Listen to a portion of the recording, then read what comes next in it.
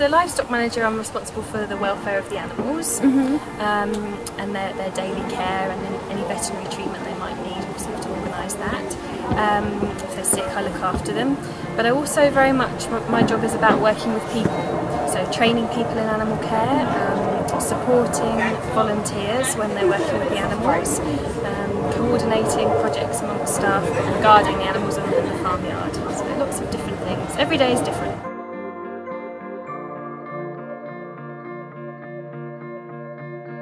Okay, so it first um, started up in about 1975, I believe, and it was behind King's Cross Station.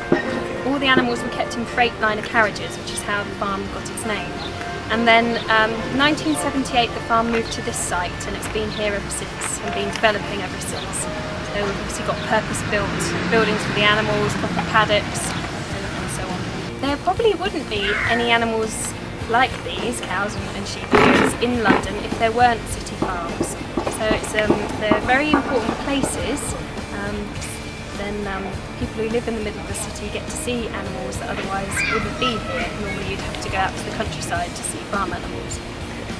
It's continually growing and changing, and over that time it's continued to, to grow and change. New projects, more people, definitely. I mean, we, at the moment we average about 55,000 um, visitors a year.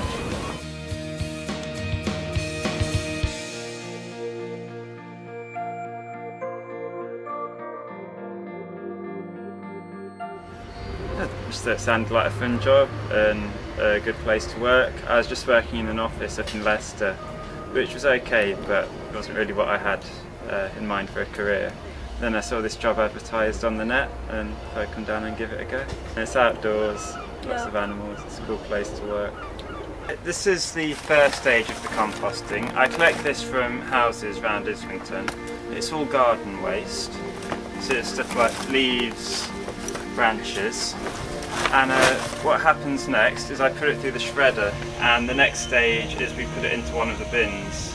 Uh, then a few weeks later we turn it and it gets to pretty much what you saw over there that I was uh, taking stuff out of. Uh, here is the compost that I have uh, before it's sieved, so it's got all the, the itty bits like branches, stuff that's not going to make good compost.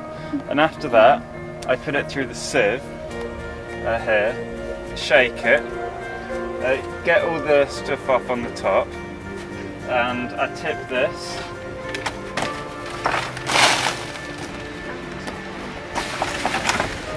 Over the side there onto the sheet, and we can uh, re-shred that later.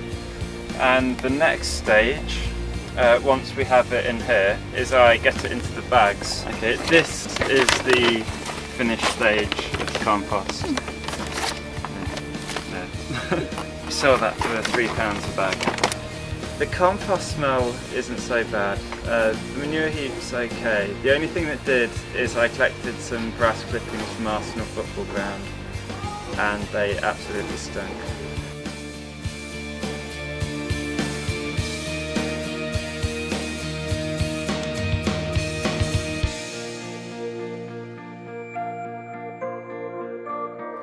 Um, to make smoke, as you see, smoky. And when you're working with the bees, you have to manipulate frames or, or something you have to do. Helps you keeping bees away from where, where you are. So, when I started last year, uh, the manager of the farm offered me to do to look after bees, and I said yes. And he offered me a course in beekeeping, so I said yes. This is called beehive. This is where the bees live.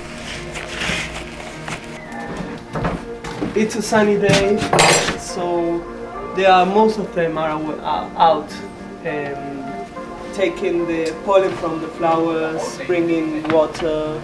And this one, it's a frame full of honey. See? This is all honey. This is inside there. You can see the honey. And so after after they finish filling up the combs like that, they cap it with a thin layer of wax. And when you harvest the honey, well, you take the frame out Yeah. and you put it in in a spinning wheel, in a spinning like um, put the frames in there and you spin it, and the, the honey comes out.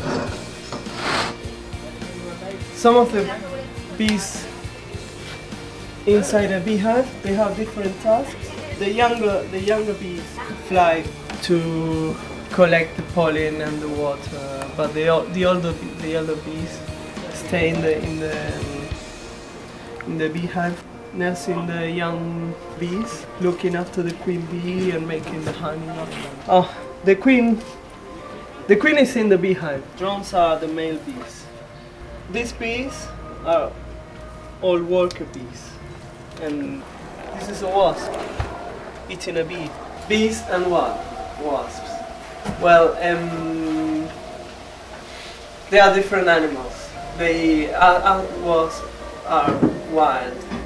They are um, also bees are wild. But there's an economic interest for the bees to keep bees because of their honey. They wasp they don't produce honey. They eat insects, other insects. Yeah, we'll definitely come back. She loves it. She loves the old goats and that, especially the big ones. What's your favourite bits? Um, the ducks. The ducks. i don't what about the goats? Did you like that bit? pulled your hair, didn't he? Yeah, why? Because you turned your back to him with your dinner with his dinner.